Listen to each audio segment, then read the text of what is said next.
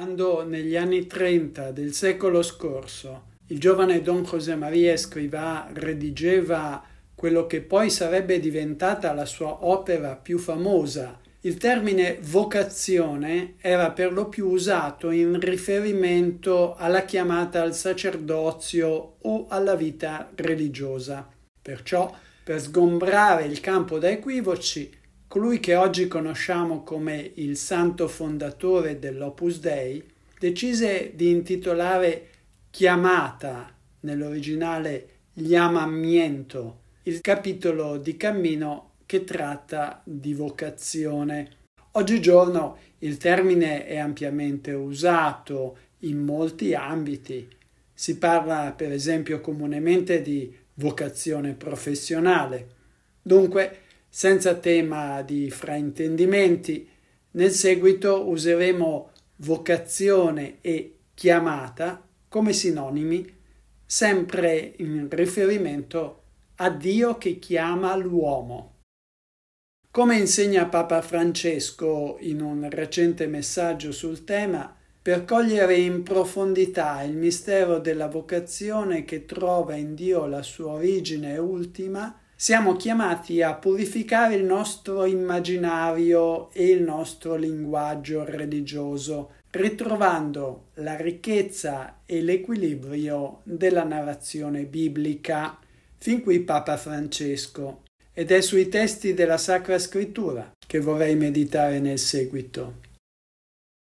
Anzitutto è importante ricordare che la vocazione è un elemento essenziale del rapporto tra Dio da una parte e l'uomo nella sua dimensione di popolo dall'altra. Nella Torah il popolo dell'antica alleanza viene denominato Kechal Adonai, convocazione di Dio, assemblea di Dio. Più tardi 300 anni prima di Cristo, in quella complessa operazione di inculturazione portata a termine ad Alessandria d'Egitto dai leggendari 70, l'espressione venne tradotta in greco come Ecclesia tu Theu, Chiesa di Dio, preservando così nel passaggio dall'ebraico al greco sia l'etimologia della parola sia l'assonanza originaria, il verbo chiamare è kaleo in greco come kahal in ebraico.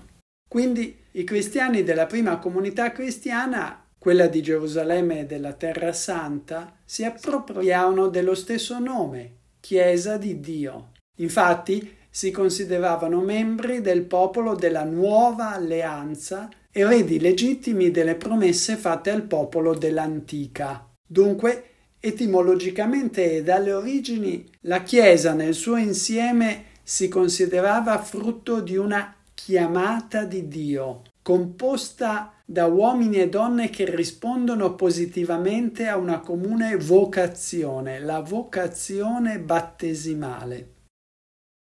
All'interno della comune vocazione cristiana, però, Dio ha una vocazione o progetto specifici su ciascuno e ciascuna. Ognuno di noi può applicare quest'idea alla propria storia personale. Io lo faccio per me. Anzi, potrà ritornare periodicamente a meditarvi con frutto. Nella mia vita, che cosa mi ha chiesto il Signore fino ad oggi? Che cosa mi potrebbe chiedere in futuro? E soprattutto, che cosa mi chiede adesso. Infatti, per usare un'espressione nota, il passato è storia, il futuro è mistero, ma il presente è un dono.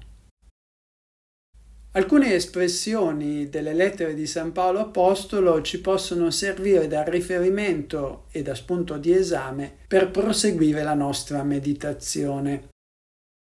Questo progetto vocazionale all'inizio è quasi sconosciuto all'interessato o all'interessata e conserverà sempre un carattere di mistero. Ci rassicura però sapere che è preordinato da Dio. Dalla lettera ai Romani sappiamo che Dio chiama quelli che ha predestinati E nelle note autobiografiche della lettera ai Galati, Paolo di Tarso dice di essere stato scelto fin dal seno di sua madre e di essere stato chiamato con la grazia di Dio.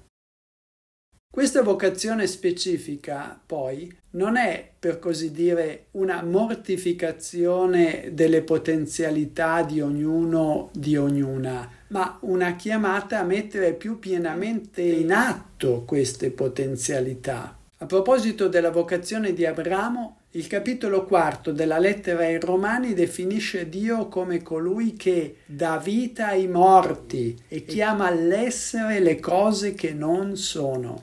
Egli non ci chiede di essere di meno di ciò che siamo, ma ci chiama ad essere di più di ciò che ora siamo. Ci chiama a trar fuori il meglio di noi stessi. Con un'avvertenza però, se la chiamata è a essere e operare di più, essa non deve tuttavia comportare turbamento e agitazione, ma deve donare la pace Dio ci chiama alla pace e a rimanere nella pace. La vocazione è alla pace, come ripete più volte l'Apostolo Paolo. Per esempio, scrivendo ai Corinzi circa le discordie o addirittura le divisioni che si verificavano quando uno dei due coniugi abbracciava la fede con le sue esigenze, incontrando l'opposizione dell'altro, rammenta Dio vi ha chiamati a stare in pace e che ne sai tu, donna, se salverai il marito? O che ne sai tu, uomo, se salverai la moglie? Se una presunta chiamata di Dio ci toglie la pace, ci causa un turbamento che non sia transitorio ma persistente, possiamo tranquillizzarci. Non è la voce di Dio quella che ci ha parlato. In quest'ottica la lettera ai Galati è scritta principalmente per tranquillizzare i cristiani neofiti di quella comunità, turbati da alcuni predicatori, i quali pretendevano di imporre loro le pratiche giudaiche. Queste dottrine, scrive significativamente Paolo, non provengono dal Dio che vi chiama. Scrivendo poi ai cristiani di Colossi, così li esorta. La pace di Cristo regni nei vostri cuori, perché a questa pace siete stati chiamati in un solo corpo. La chiamata alla pace è dunque nel contempo anche chiamata alla comunione con gli altri cristiani nel corpo di Cristo, che è la Chiesa. Il concetto è illustrato più volte nella prima lettera ai Corinzi. Degno di fede è Dio, dal quale siete stati chiamati alla comunione con il Figlio suo Gesù, Cristo, Signore nostro. La vocazione specifica di ogni uomo o donna è una chiamata che viene da Dio e che ha come controprova la comunione con Cristo e in Lui con gli altri fratelli nella fede.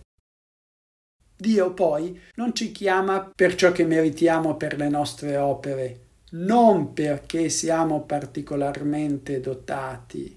All'inizio della lettera ai cristiani di Galazia, Paolo esprime il suo doloroso stupore perché hanno scordato la chiamata per grazia, per volgersi a presunte opere meritorie. Scrive loro: Mi meraviglio che così in fretta da colui che vi ha chiamati con la grazia di Cristo, voi passiate a un altro Vangelo. Sempre Paolo di Tarso precisa che fu decisiva la chiamata per grazia, cioè per un dono gratuito, nella scelta tra i due figli di Isacco, Giacobbe a preferenza di Esaù. Così lo spiega scrivendo ai Romani.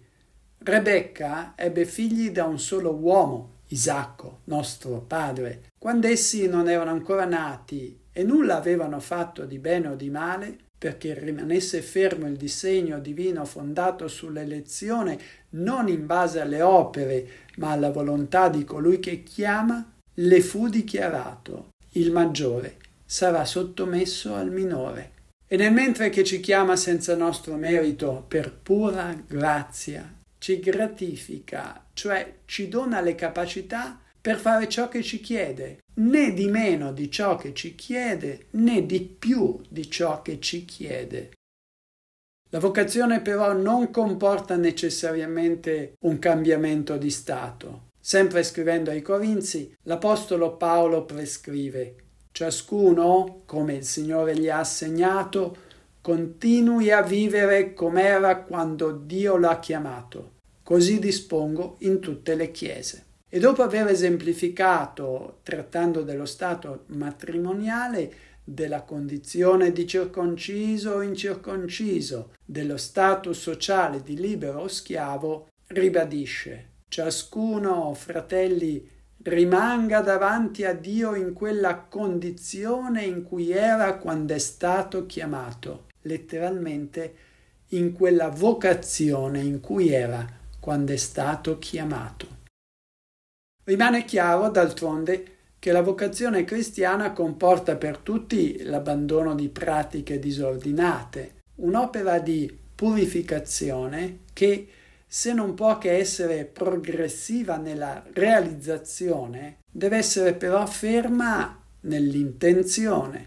Più e più volte l'Apostolo dovette richiamare i battezzati, i quali vivevano in ambienti profondamente impregnati di libertinaggio, a coltivare la virtù della purezza, cui Dio li aveva chiamati. Si sente dovunque parlare di immoralità tra voi e di un'immoralità tale che non si riscontra neanche tra i pagani. E sempre nella prima lettera ai Corinzi, il corpo non è per l'impurità, ma per il Signore, e il Signore è per il corpo. State lontani dall'impurità. La chiamata alla purezza nelle lettere paoline viene messa in relazione con la chiamata alla santità. Così, nella prima ai Tessalonicesi scrive Questa è volontà di Dio, la vostra santificazione, che vi asteniate dall'impurità, che ciascuno di voi sappia trattare il proprio corpo con santità e rispetto, senza lasciarsi dominare dalla passione, come i pagani che non conoscono Dio e poco dopo aggiunge Dio non ci ha chiamati all'impurità, ma alla santificazione. Dio ci chiama alla santità. È in questo contesto che va interpretata anche la chiamata alla libertà cristiana di cui la lettera ai Galati è documento paradigmatico.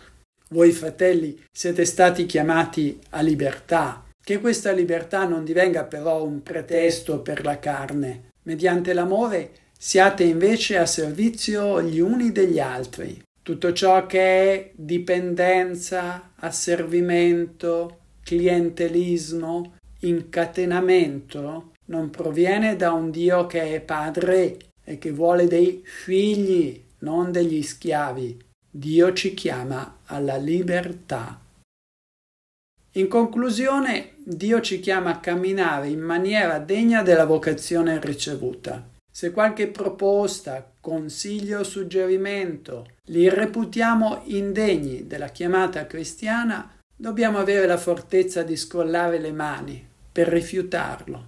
Ed ecco il richiamo accorato della lettera che San Paolo dirige dal carcere agli Efesini. Io, prigioniero a motivo del Signore, vi esorto, comportatevi in maniera degna della chiamata che avete ricevuto.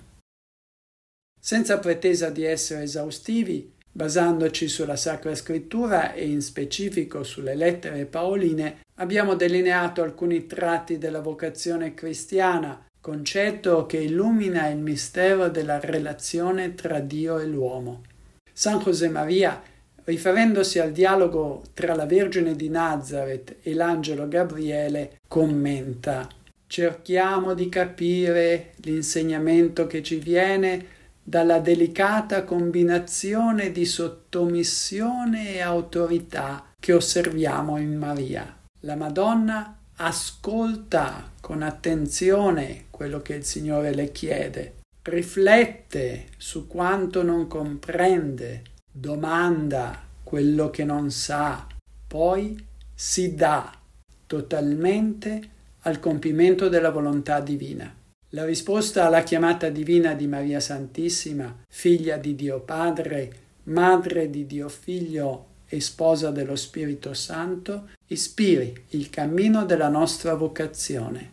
E mentre camminiamo, non scordiamoci di pregare gli uni per gli altri e di aiutarci gli uni gli altri.